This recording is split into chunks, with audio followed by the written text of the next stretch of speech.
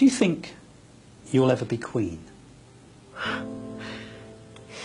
No, I don't. No. Why do you think that? I'd like to be a queen of people's hearts, in people's hearts. But I don't see myself being queen of this country. I don't think many people would want me to be queen. Actually, when I say many people, I mean the establishment that I'm married into.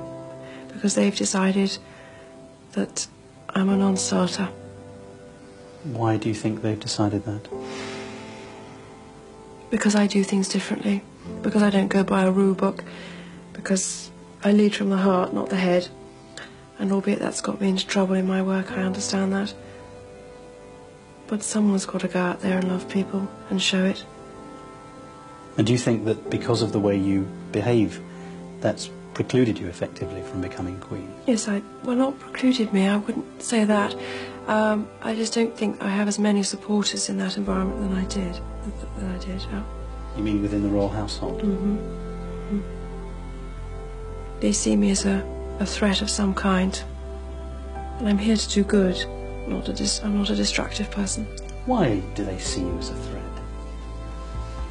I think every strong woman in history has had to walk down a similar path, and I think it's the strength that causes the confusion and the fear. Why is she strong? Where does she get it from? Where is she taking it? Where is she going to use it?